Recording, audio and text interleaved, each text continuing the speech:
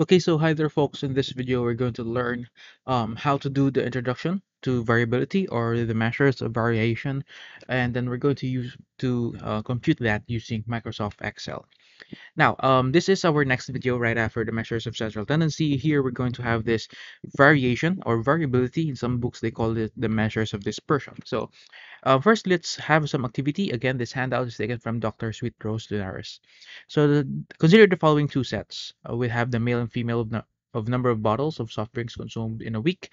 Um, I mean, the two sets of female and male, okay, those who have consumed this number of soft drinks in a week. So let's say A is the males, B is the females, for example. So I have plotted them already here in our Excel, um, in this blank book in Excel um, what we're going to do is to fill in this table needed for this information. So let's just make it in this manner. So we have first, we need to fill in the n, we need to fill in the x bar, that's the mean, and we have to fill in the x tilde, that's the median. So what we're going to do is we're going to use Excel.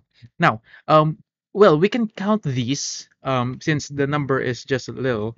But imagine if your n is many, so it's maybe it's more than 30 or more than 40. So um, we don't know. Uh, counting them is going to be a tasky job to do. So let's make use of Excel. That's what we're going to do.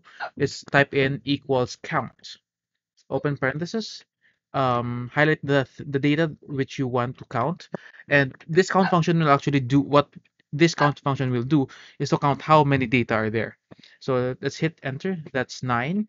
Um, I think, of course, that will be similar to number letter B. So the second set, which is also nine.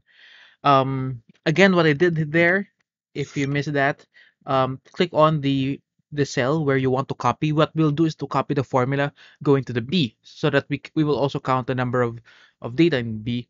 So we'll just um, actually we can do copy and paste paste it here we can do that or the simplest way to do that is just to click on the cell um, on the bottom right of that cell we have this small square put your cursor in such a way that it will become a black um, crosshair and then uh, drag it over there wherever you want to copy the formula with okay if I'm going to drag it um, all the way here it becomes zeros because it has nothing to count to so let's just delete it now for the mean, uh, we're asked the mean, the mean that is the x bar. So again, how do we get the mean in Excel? We type in equals average, open parenthesis, highlight the, the, the data where you want to get the average or the mean of, close parenthesis, and then voila, we have that there 8. And then let's drag this again. And we have also the mean in the letter B is also 8. Okay, next, we'll, we need the median. So that's the x tilde over here. So what we're going to type in is equals median as it is, open parenthesis, highlight the data where you want to get the median from, close parenthesis, and then hit enter. What you have is 8. If we're going to extend this, we have, what we have here also is 8. Now notice that our values for the n, um, well, let's the n is not of much important but importance but we can see in the mean and the median the means are equal for both a and b okay notice the means are equal okay so that's how we describe the data and also the medians are equal. okay, Take note, the medians are equal and the means are equal, though the scores are not the same. Okay, the scores are not the same, but the mean and the means and medians are are equal. So that is you'll have this. So we have nine, eight bottles, and eight bottles for everything, mean and median.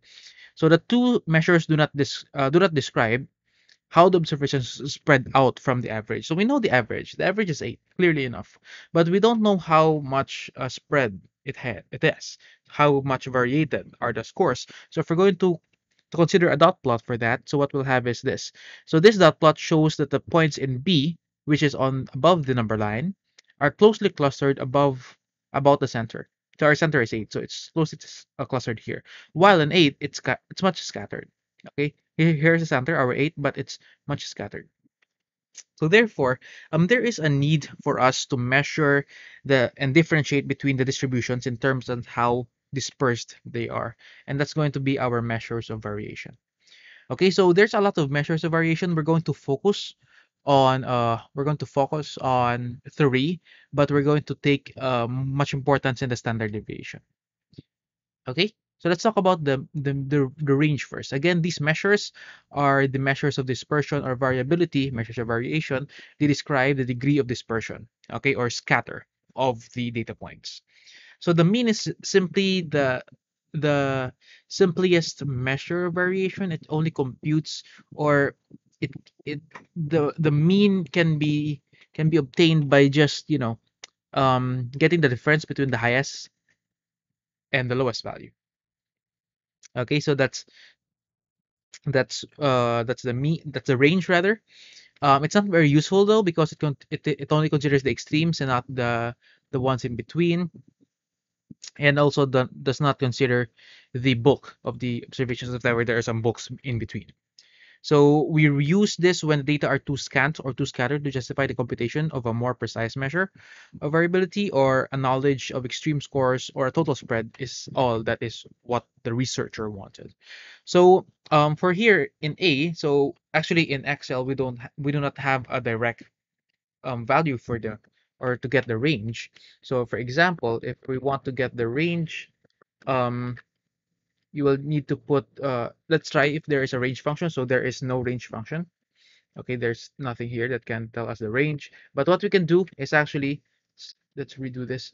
Let's, I'll get first the maximum value. Maximum, let's just name it maximum. And then we'll also get the minimum here. And then after that, we're going to deduct the maximum from the min, uh, rather the maximum by the minimum, and then get the range. So what's the minimum, the maximum value? What's the highest value in this in this distribution here in A? So clearly enough, since the the values are in an array already, so um, you know it's it's going to be 15 but let's just try so the the the formula for the excel the function for the excel to get the maximum value is equals max x open parenthesis, highlight the data set where you want to get the maximum value, um, hit it with equals, and then what you have is 15. Clearly enough, since it's an array, it's it must be 15. And the minimum is going to be min, open parenthesis, highlight the data values. You want to get the minimum of close parenthesis equals, and then drag it. And then we can see, of course, um, that the lowest value is 3. So to get the range, it's going to be equal to the maximum value minus the minimum value. That's going to be 12, and that's going to be 12 also here. So that's how we get the mean. Okay, so um, they both have 12. Okay, they both have 12. So this example shows an instance wherein the range values are not able to differentiate between a set A and set B, though we know that the, the, the spread of the data set data points are are not not not the same, but they do not the range does not give that um, explanation. So there's a need to have a measure that will be able to truly distinguish um, between the the spread of these two sets. So that is going to be the standard deviation. That will be our answer. Okay, it's the most important and the most commonly used measure of variation together with the mean as a measure of central tendency. That's why in in the normal curve, when we'll have our lesson in the normal curve, the mean and the standard deviations are the ones um, grouped together to get the, the values of a, of a normal distribution. So how do we get the standard deviation? So um, we have here some definition. That a deviation is x sub i minus the mean, okay? And the standard deviation is, is used rather when the statistics having the greatest stability is desired and when the mean is the preferred measure of central tendency. So when we're using the mean, that's that's when we're going to make use um, usually with the standard deviation. So what we can see here are the formulas for the standard deviation, standard deviation for the population, for the sample. Again, we make use of Greek letters, okay? When we have the population, and when you gather the population, the sigma here, this is sigma. So since it's squared, so that's sigma squared. And we have the mu here as our mean. Here in the sample standard deviation, what we have is the S, that's our standard deviation, S squared, okay? If since it's squared and then what we have here is the x bar for the mean and then we have here the raw score formula uh, it's even quite longer um, than it should be um, but uh, in Excel, I'm going to show you how to do this with with just a, with just some clicks. You can also do or compute that using a calculator if you want. Um, I think I'm going to need another video for that. So how do we get the, uh, the, the standard deviation? So simply enough in Excel, Excel um, makes life makes our life easier. So uh, let's actually the the common name for the standard deviation is is SD. Okay, so every time I say SD here, it's going to be the standard deviation. Okay, so how do we get that? Equals uh, STD dev, eh, rather STDev. Okay, STDev, standard deviation. And actually in Excel, we can choose, is it a population standard deviation or a sample standard deviation? So in this example, let's just use the sample standard deviation. Oops, sorry. Dot S. And then we're go we need to highlight the values that we want to get the standard deviation of. Um, close parenthesis, and then to have is 3.94. Let's drag this going here, and you can see that the standard deviation is now um, different from the standard deviation of A versus the B. So we can see here that the standard deviation for A is 3.94, which is bigger than the standard deviation for the B, which is 3.12. That is, which means the higher standard deviation, the more spread it is. Okay, so you can see that that the that um, group A is more spread than group B because it, group B has a low standard deviation, and that can be um, verified by the graph. So you can see um, group A here between, or rather um, down below the number line, it's just more it's it's more scattered compared to group B because group B is lumped here in 789. Though there are some um, data outside it, but it, they're lumped. That's why they're its SD is low. Okay, that's why its SD is low. Um, let's have another example. So how do we get the SD manually? Okay, in manual computation. So this, these are the steps. Uh, I won't be explaining it here since we're not going to use the manual computation anyways. So uh, here, here, here's the answer for our for this example. So we can see that the, standard deviation is 3.9, which is pretty much equal, uh, correct. And our standard that's for the A. For the set B, it's 3.1, so which is pretty much also correct. Okay, so it should be bottles, not books. Anyways, so that's our example there. Let's have this example, and we should arrive at the SD of 12.3. So let's try. Okay, so let's call this a let's call this X.